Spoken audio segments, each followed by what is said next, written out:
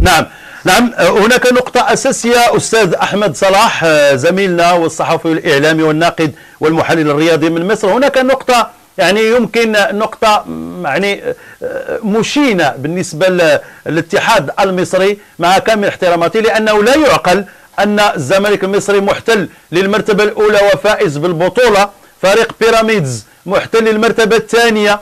وهو المستحق أو هو الذي لديه الأحقية في المشاركة في عصبة الأبطال الإفريقية ويأتي الأهلي في المرتبة الثالثة والأهلي غير مؤهل لعصبة الأبطال الإفريقية وتؤخذ أو تسحب يعني الأحقية من بيراميدز وتمنح للأهلي. ما هو هذا القانون؟ ما هو هذا قانون الغاب بالنسبة للاتحاد المصري؟ كيف تفسر أستاذ صلاح هذا هذه هذه الأشياء اللي هي غير قانونية وغير مطابقة وغير عادلة في الكرة المصرية.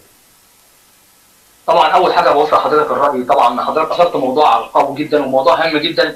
آه على فكرة عايز أقول لحضرتك إن الصحافه والإعلام المصري ما اتكلمش في الموضوع ده بشكل كبير جدا. آه بشكل كبير في الموضوع ده. فأنا طبعا بحيي حضرتك طبعا عن الكلام في الموضوع ده. نادي الزمالك طبعا هو دلوقتي بطل الدوري هو خلاص راح بطوله أفريقيا. المفروض يا أستاذ حسن إن المركز الثاني هو اللي بيروح بطولة دوري أبطال أفريقيا. صحيح. والثالث والرابع اللي هو الأهلي وفيوتشر هم بيروحوا بعد كده للكونفدرالية.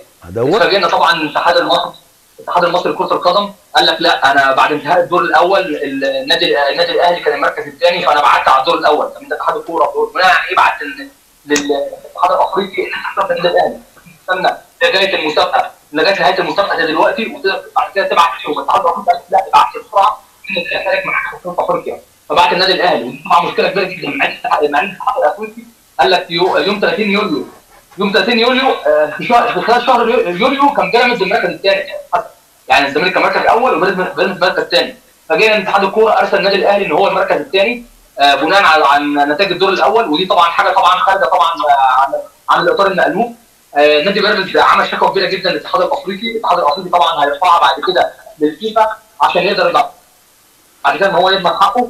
نادي بيراميدز مستكت في الموضوع شايف إن حقه إن هو المركز الثاني إن هو يبقى في بطوله أفريقيا وإن النادي الأهلي في الكونفدرالية إن هو المركز الثالث. فعايز أقول لحضرتك دي طبعا حاجة مش موجودة برضو إن الاتحاد المصري بعد الاتحاد الأفريقي النادي الأهلي في المركز الثاني. فده طبعا حاجة خارجة عن المألوف وحاجة طبعا بعيدة جدا عن عن الرياضة عامة. أنا شايف إن الزمالك اول بيراميدز الثاني بطولة أفريقيا. الثالث والرابع هم اللي هيروحوا الكونفدرالية. هي دي العدالة الكروية اللي موجود فيها. لكن المساندة للنادي الأهلي إن هو يخش بطوله أفريقيا. عايز أقول لحضرتك دي حاجة طبعا مش موجودة. نادي الزمالك قبل كده كان في المركز الثالث ودخل الكونفدرالية وفاز بيها لما كان حضرتك عارف. إيه المشكلة النادي الأهلي يبقى في المركز الثالث ويخش الكونفدرالية؟ أنا برضه لغاية دلوقتي مش عارف النقطة دي. لكن نادي بيراميدز رفع شكوى للاتحاد الأفريقي بعد كده هيرفع شكوى للاتحاد الدولي عشان يضمن أحقية نادي بيراميدز في المشاركة في البطولة دوري أبطال أفريقيا. وطبعا عايز برضه من خلال برنامجك أهني نادي الوداد بالفوز طبعا ببطوله أفريقيا الموسم الماضي وبأن طبعا نهضة بركان بالفوز طبعا بالكونفدرالية. نعم صحيح أستاذ أحمد صلاح ونحن يعني نستغرب يعني كرياضيين وأعتقد لسنا في المغرب اللي غادي نستغربوا ربما حتى في باقي دول العالم إن كانت هذه القضية هذه طبقت في مصر فسيكون هناك أكبر استغراب وربما أكبر وضع علامه استفهام كيف يعقل أن فريق يحتل المركز الثالث يعني يشارك في عصبة الأبطال وفريق يحتل المركز الثاني يشارك في كأس الكونفدرالية الإفريقية. شيء غير معقول. وربما بيراميدز ربما إذا أتيحت له الفرصة والمشاركة في عصبة الأبطال السي عبد الرحيم قد يفوز بعصبة الأبطال.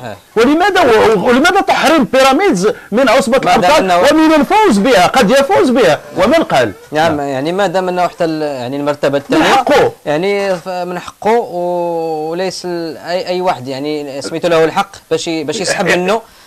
ديك البطاقة ديال ديالو نعم. الأبطال. واحد السؤال لا لا واحد السؤال أخ أحمد. أه. يعني أشنو هو السبب ديال التغاضي أو السكوت الاعلام المصري على هذه النقطة هذه ولا هذا المشكل؟ آه عايز أقول لحضرتك الاعلام الأهلاوي. خلينا نتكلم بقى آه نعم الإعلام الأهلاوي إن هو بي بيبعد بشكل كبير جدا المشاكل عن عن عن النادي الأهلي خاصة في الموضوع ده. يعني البرامج اللي اتكلمت عليها هم مثلا برنامجين أو ثلاثة وما تطرقوش للموضوع فأنا بحييكم طبعا في البرنامج بتاعكم اللي أنتوا اتكلمتوا في الموضوع لأن الموضوع فعلا مهم جدا. العدالة الكروية أهم شيء العدالة الكروية اللي إحنا شفناها. وبيراميدز قبل كده وصل للنهائي بطولة الكونفدرالية ولعب أمام نهضة السودان وهزم في المغرب بشرف. لو حضرتك برضه تفتكر. وقبل كده لعب قدام الرجاء في قبل النهائي والرجاء خرجوا فنادي بيراميدز كان بيوصل للنهائي اللي قبل النهائي والنهائي الفترات اللي فاتت. فليه بيراميدز ما لعبش في أفريقيا؟ ولا واحد النادي الأهلي اسمه كبير. فلازم العدالة الكروية هنا اللي تحسم الجدل في الموضوع ده كله ما اتحاد الكورة اختار النادي الأهلي. الإعلام المصري ما اتكلمش في الموضوع مستندا للنادي الأهلي. فدي طبعا مشكلة كبيرة جدا شفناها. على فكرة عايز أقول لحضرتك برضه نطرق الموضوع نادي الوداد والنادي الأهلي في نهايه بطوله أفريقيا. شفنا المشاكل الكبيرة جدا. والنادي الأهلي طلع قال لك إن المسؤولين في نادي الوداد تعاملوا معانا بشكل غير جيد. بالعكس أنا شفت تعامل محترم تعامل كويس جدا من جانب المغربي بصراحة النادي الأهلي طلعوا بعد المباراة قال لك إن هم الجانب المغربي ما تعاملش معانا بشكل جيد والتحكيم طبعا وغير التحكيم والكلام ده كله مع إن الوداد فاز على الأهلي 2-0 بجدارة النادي الأهلي كان موجود في المباراة دي فالنادي الأهلي لازم بيطلع أي حجج الفترات اللي فاتت بنشوفها بيطلع أي حجه عشان. لما يتجلب ما ياخدش الكورة بيطلع أي حجه يعني آخر حجه طلعها إن الوداد والم... والمغرب والماتش في المغرب والكلام ده كله مع إن مصر ما استضافتش النهائي يعني ما ما ما, ما قدمتش النهائي الطبيعي النهائي راح المغرب لأن المغرب هي قدمت الملف بتاعها والسنغال وفي الآخر راح للمغرب. النادي الأهلي علق شماعته إن أنا ان المغرب هي اللي تاخد النهائيات.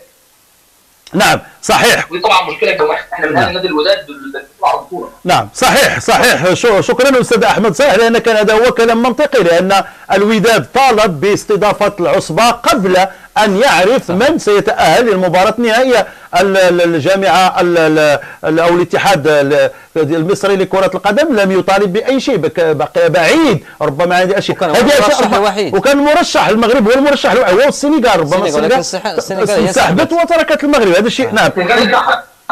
نعم. صحيح. هنا هنا اذا اذا وضحنا الأمور. يعني نحن دائما نتابع. كما لاحظت أستاذ أحمد أننا في المغرب نتابع جميع البطولات وجميع الحيثيات وكما قلت نريد عدالة رياضية سواء في المغرب أو الجزائر أو تونس أو مصر أو المملكة العربية السعودية وكذا نتكلم عن الجانب الرياضي. نريد دائما أن يكون الوطن العربي عنده واحد المصداقية. في الكرة وأيضا في الرياضة ديالو حتى في النتائج حتى لا ننعت بأشياء أخرى. ونحن في القرن الواحد وعشرين أستاذ. قبل ما تخرجوا ما تنساوش t'abonnaw في la chaîne YouTube وتفعلوا الجرس باش يوصلكم جديد قناة ريمال TV